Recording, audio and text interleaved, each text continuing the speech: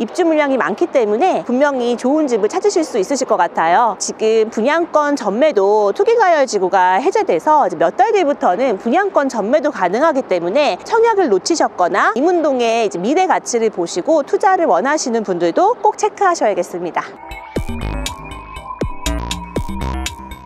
안녕하세요. 청량리 이문동 전문 지혜부동산의 서지혜입니다. 동대문구는 지금 온 동네가 재개발 중이라고 할 정도로 계속해서 개발이 이루어지고 있는데요. 2023년에는 청량리에 주상복합 3총사 2,800여 세대의 입주가 있었고 지금 현재 공실 없이 이제 임대가 안정기에 접어들었습니다. 내년에는 이제 이문 1구역 레미안 라그란데와 이문 3구역 이문 아이파크 자이에 대규모 입주가 있어서 오늘 홈체크 구독자분들께 소개드리려고 합니다. 현재 저희가 서 있는 곳은 1호선 외대역 앞입니다. 지금 외대 앞역을 기준으로 건너편은 행정구역상 휘경동이고 휘경자이 디센시아가 2025년 11월 입주를 앞두고 있고 지금 이제 이문 1구역과 3구역으로 가는 5번 출구 앞에 있는데요. 쫓길로 빨리 들어가는 길도 있지만 오늘은 좀 대로변을 쭉 보여드리면서 한국 외대 정문 앞으로 가보시겠습니다. 외대나 경희대 학교 다니셨거나 아니면 학창시절 친구들이 주변 학교 다니셨던 분들은 이곳이 낯설지 않을 거예요. 이전에 저렴한 월세집을 담당해 주었던 빌라들이 철거되고 아파트가 되면서 요즘 인근 오피스텔은 항상 만실입니다. 이 길을 보시면 아시겠지만 유명 프랜차이즈들이 한눈에 보여요. 대규모 재개발이 진행될 때 항상 아쉬운 점이 주변 편의시설인데 역세권의 대학가이기 때문에 유명한 프랜차이즈는 물론 감성이 물씬 풍겨 이어지는 작은 개인 식당들도 갖추어져 있어 편리한 생활은 물론 맛집, 멋집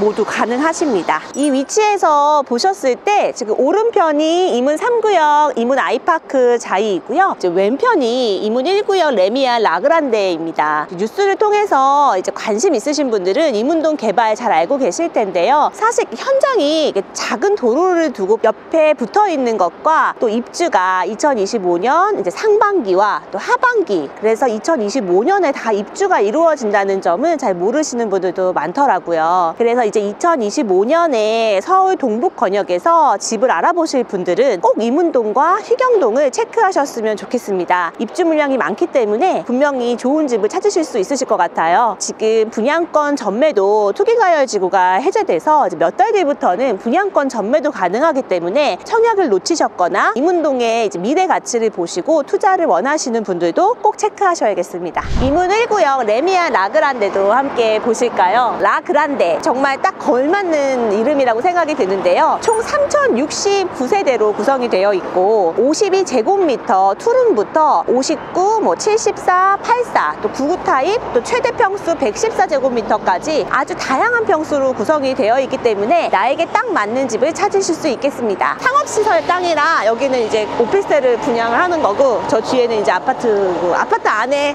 이제 원룸도 있고 여기는 오피스텔이고 이문 3구역 이문 아이파크자에는 지금 보이시는 이제 1, 2단지가 이쪽에 구성되어 있고 또 이문 1구역 뒤편으로 천장산이라는 곳이 있는데요. 그 앞에 3단지는 고즈넉 하게 타운하우스 같은 형식으로 구성이 되어 있습니다. 총 규모가 4,321세대로 굉장한 규모를 자랑하는데요. 제가 이문 아이파크 자이의 장점이라고 생각되는 점이 20제곱미터의 원룸형부터 아파트를 지었어요. 그래서 20제곱미터 뭐 투룸, 쓰리룸 아주 여러 가지 타입이 구성되어 있는데 대학가들이 많아서 오피스텔이 항상 만실이거든요. 지방에서 부모님들이 자녀분들 집을 구해주실 때 가장 걱정하시는 분들이 사실 보안이나 치안 문제예요. 그런 점에서 이제 소형 아파트들은 어쩌면 여기 대학생들의 또 그 임대 수요가 많이 있을 것이라고 생각이 되고 또 그런 부분들이 이문 아이파크 자이의 신의 한 수 아니었나 생각합니다. 아파트에서는 학군이 굉장히 중요한 문제인데요. 특히 초등학교 많이 궁금해 하시죠? 이문 1구역과 3구역에는 이문 초등학교와 청량 초등학교가 도보 10분 거리 사이에 있는데요. 삼육초등학교나 경희초등학교처럼 사립학교도 가까이에 있습니다. 중학교도 경희중, 경희고등학교. 사실 서울에 아파트 주변에 대학교가 있는 경우가 참 많지는 않은데 아이들을 보내고 싶어하는 경희대나 한국외대 같은 좋은 학교들도 있기 때문에 학군 형성이 굉장히 좋지 않을까 생각되고요. 아직 좀 아쉬운 거는 이제 사교육 부분이 조금 학교 앞에 조그만 학원들만 있긴 한데 추후에 아이들이 많이 들어온다면 학원가가 빠르게 형성되지 않을까 싶습니다. 레미아 라그란데 사는 친구들이 이제 학교가 배정이 어떻게 될지는 모르겠지만 어쨌든 이문초를 가게 되면 요 라인을 걷게 될 거예요. 아이들 학원이 사실 많지는 않은데 보습 학원이나 뭐 피아노 학원 이런 것들은 좀 있고 친구들이 들어오면 이쪽 상권도 좀 더 좋아지지 않을까 생각합니다.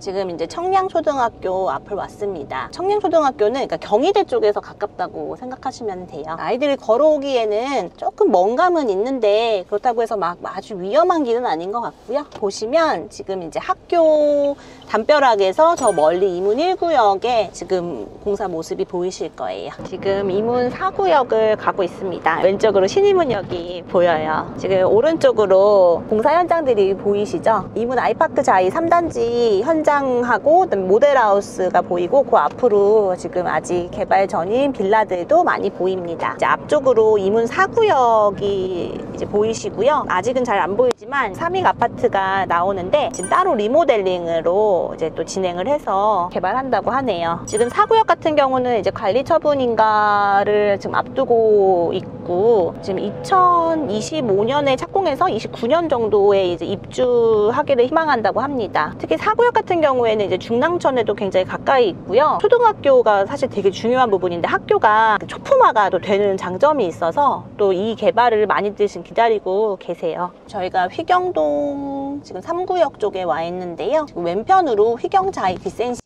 이제 2025년 6월 완공되는 아파트를 보고 계십니다. 그리고 왼편으로 어, 해모로 아파트가 있어요. 이제 거기도 휘경 1구역 이제 재개발한 거거든요. 그래서 이런 식으로 보- 동대문은 계속적인 재개발들이 있습니다. 오늘 이 영상을 보시고 동대문에 정말 많은 개발이 있구나 생각하실 텐데요. 동대문은 이제 시작입니다. 지금 이문 3구역 근처에 이문 4구역도 이제 철거가 예정되어 있고요. 신이문 역세권 개발이 라든지 청량리 쪽으로 좀 가다 보면 청량리 7구역에 얼마 전 롯데캐슬 하이로체 분양도 성공적으로 마무리되었죠. 이런 식으로 동대문은 지금 크고 작은 재개발이 진행 중에 있습니다. 동대문에 투자나 혹은 이제 실입주 또 임차를 좀 계획하고 계시는 분들은 지혜부동산으로 연락 주시면 깔끔한 브리핑과 또 지금 이 동대문의 이 상황들을 면밀히 또 설명해 드리도록 하겠습니다. 감사합니다.